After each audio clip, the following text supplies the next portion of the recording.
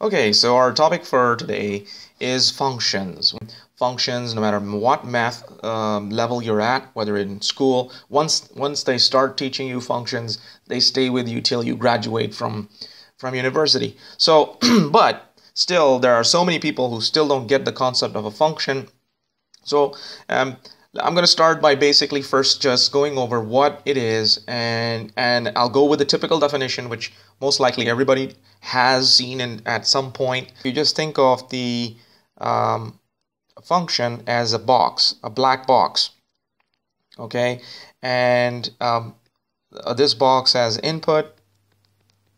Okay, it takes any input and of course it gives you output.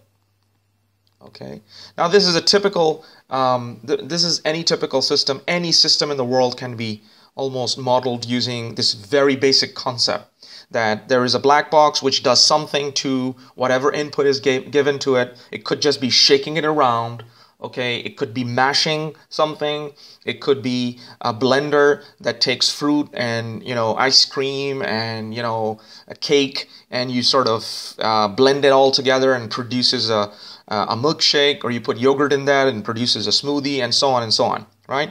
But the fact of the matter is that everything's got to take whatever whatever system's there or whatever thing is there, it takes input and it gives you output. Just keep that in mind. So you have to focus your thinking in that way. When you're listening to this video, look at all the things around in your room and think about can you think of them as an input output system? For instance, one way to look at it is when, when you're in front of the computer, you uh, the input source, one of the input sources you have, you have two input sources. You've got the, the mouse and you've got your keyboard. Uh, the two of these help you to, well, the mouse helps you navigate, all right, and it can be thought of as input because clicks are input. You input that into the computer, clicks, and the computer responds by by you know taking to you to, to a website or opening a web page or taking some action.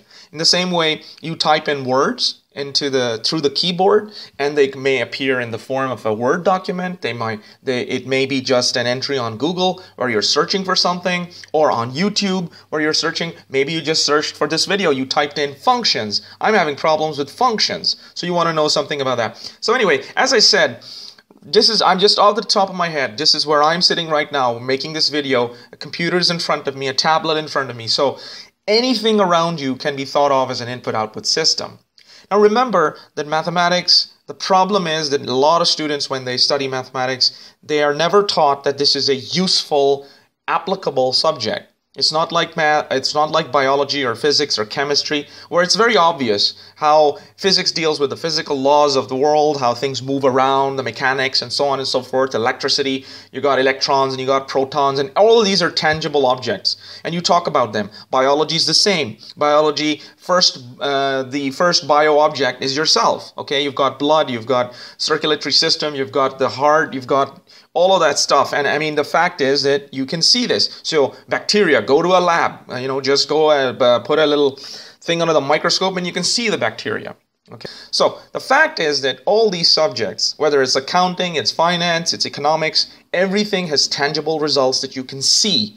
And as as learners, that's the best way for us to learn. We want to know where it's used.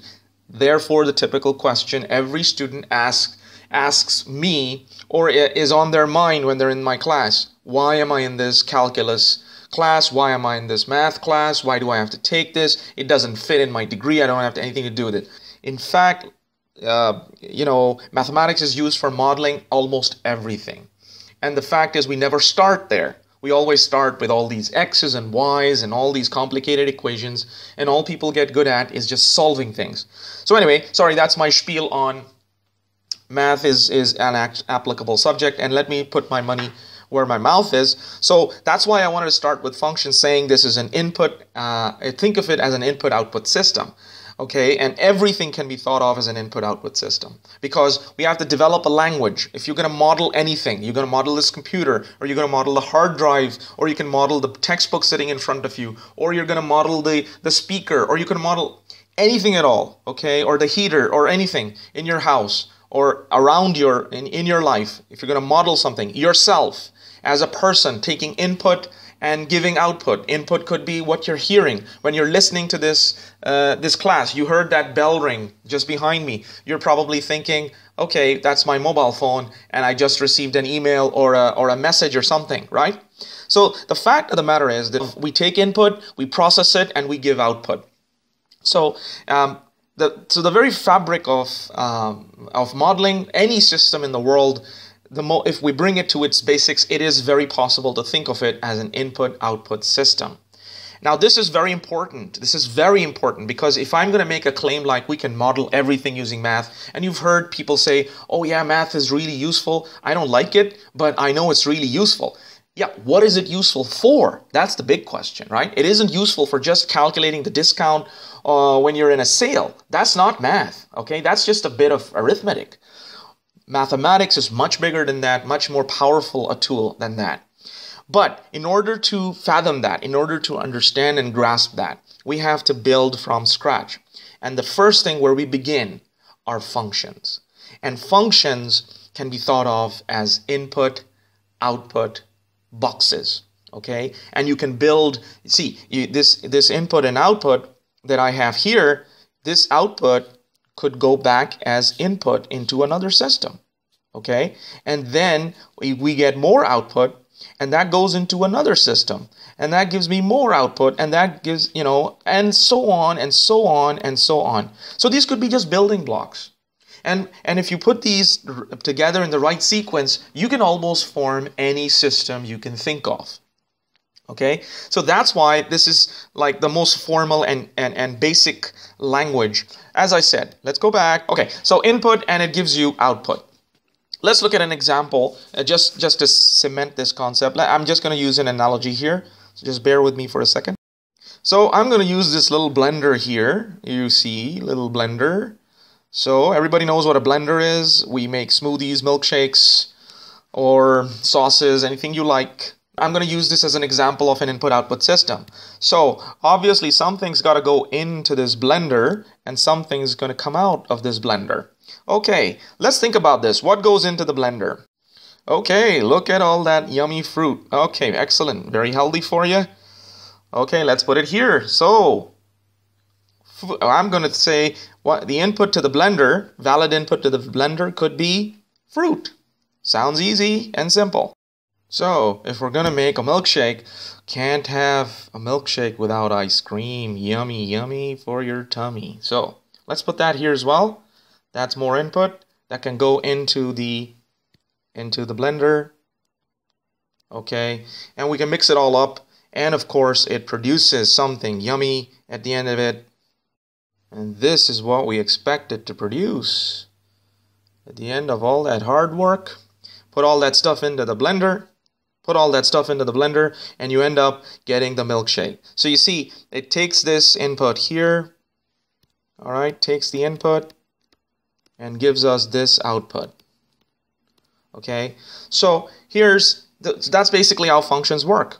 Okay, now functions, when you see them in math, of course you won't see all these beautiful things going into some machine. What you end up seeing is in fact, uh, you know, this function f. This letter f is the famous box. Okay, so F is the name of the box, like the blender. Well, it could be a blender, it could be a meat mince meat mixer if we're in the kitchen. As I said, it could be a computer with input going through the keyboard and, and so on and so forth. Okay, but it receives input. And what we mathematically, because we want to develop a mathematical language for these input output systems, so we call this black box uh, an F um, okay, f, and f stands for function, uh, and here, before your mind goes anywhere else, and we have input x. So x goes in and gives us what is called f of x, which means f works on x and does something to it and gives us a result. All right, so that's the basic concept of a function and why uh, we have this input-output idea okay so I'm gonna stop there. And basically that's I just wanted to give you an idea of what's a function all about. And we'll continue with other videos where we get more into formally uh, domain and range and so on and so forth. Thank you for listening